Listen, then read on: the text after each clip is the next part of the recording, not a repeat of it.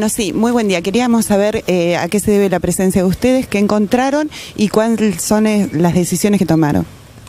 Bueno, nuestra presencia se debe a que el, director ejecutivo del organismo nuestro, que es el Organismo Provincial para el Desarrollo Sostenible, el OPDS, eh, habiendo estado en contacto con el señor intendente de, acá de la Municipalidad de Salto, nos pusieron en conocimiento sobre una explotación de suelo eh, que sería clandestina porque no tiene ninguna habilitación legal para poder desarrollarse.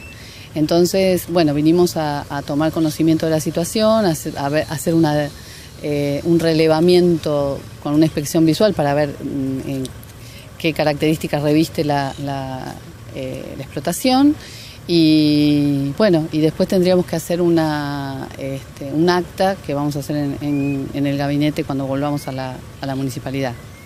Eh, ¿Cuál es la importancia y la envergadura que tiene lo que estuvimos viendo hoy en cuanto a, las consecuencias del impacto de suelos y las consecuencias que traen las canteras clandestinas? Eh, la explotación minera en general, independientemente que sea clandestina o legal, eh, provoca una, algo irreversible en el recurso suelo digamos, un suelo que tenía una, aptitud de uso agrícola, por ejemplo, por supuesto, se pierde y ya esa actividad no se puede desarrollar. Eh, en el caso de las, de las explotaciones clandestinas, justamente no hay una planificación, no tienen ninguna autorización para hacerla, entonces suman al, digamos, al impacto que ya de por sí causa la actividad minera, que por supuesto es necesaria y estando regulada eh, se puede digamos, hacer de forma relativamente sostenible. Pero en el caso de la actividad clandestina no hay ninguna forma porque las autoridades no intervienen en el desarrollo de la explotación. Entonces podemos tener mucho más perjuicios que cuando se hace una explotación de manera legal, digamos. Estamos seguros que es una explotación clandestina porque no tenemos ninguna documentación que avale eh, la posibilidad de hacer esta extracción al margen de que está en una zona que no es apta para la actividad minera, que tiene que ser una zona rural y no es, eh, no es este el caso. Entonces eso es lo que podemos, lo que podemos decir. Normalmente pasa con las canteras que son que podrían pueden haber tenido la habilitación, pero al que al ser abandonadas y la gente eh, quizás por el mismo municipio que no tiene un sistema de recolección adecuado, la gente suele usar eh, un, lugar que está descuidado como para disponer residuos. Entonces muchos se transforman así en un foco de disposición de residuos. Eh, se ve normalmente. Este en, otros casos, muchas canteras, exacto.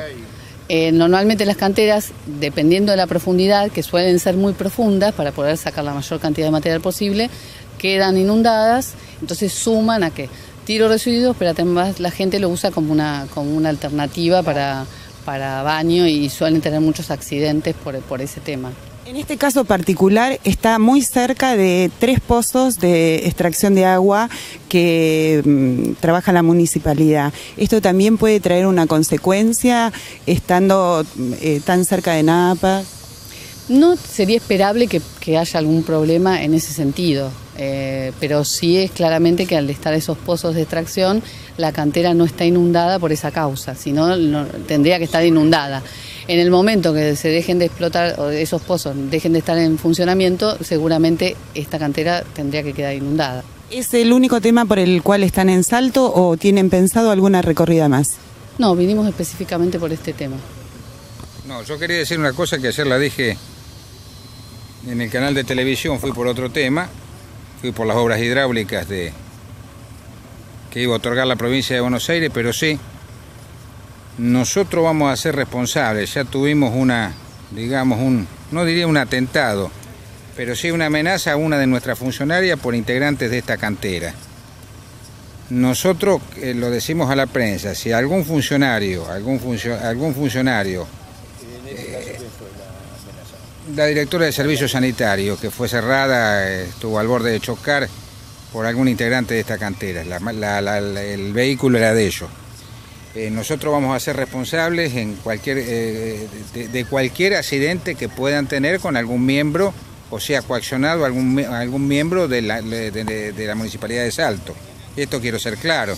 No vamos a permitir, sabemos que hay algunos de los integrantes de esta cantera que son bastante irascibles, bastante violentos, entonces no vamos a permitir eso. ¿eh?